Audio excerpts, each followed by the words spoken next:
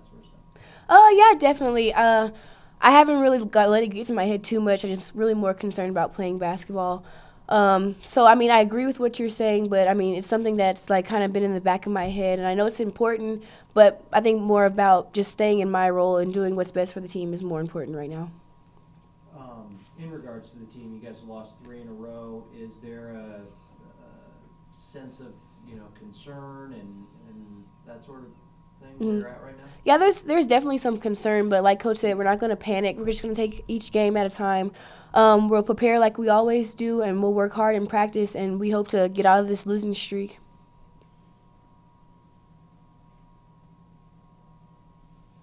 Colorado, Colorado State, obviously you guys have already played them, it's kind of, and not that long ago. Mhm. What do you remember about them and what do you guys need to do?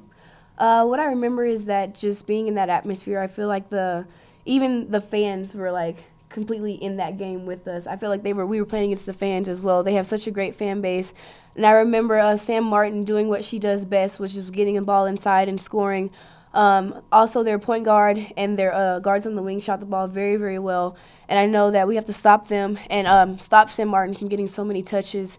And what we have to do is turn up our defense. I feel like we lacked defense in the last game, and that's something that we're going to need to win. The uh, elbow sleeve.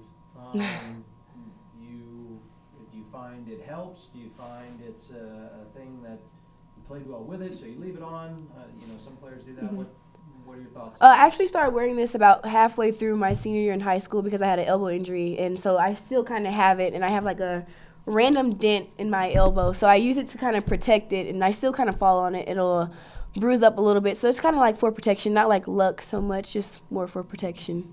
Mm. All right. Thank you. After missing a couple games. Um, I think I'm easing into things. Um, I'm right there. I'm ready, and I've been playing hard, and I've been working hard in practice, and I would say I'm back to 100%.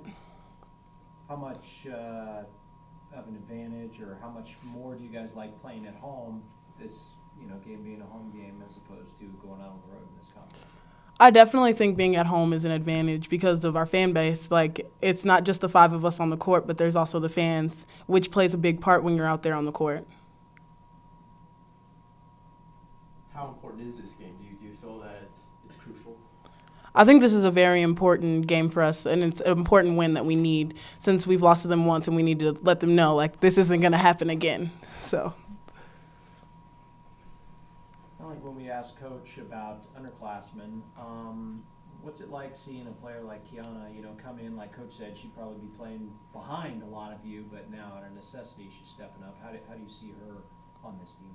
I think that Kiana plays a very big role, being one of our tallest post players, and she she adds not only just to be a big, but she can shoot too. So I, I think that she deserves the spot that she's in.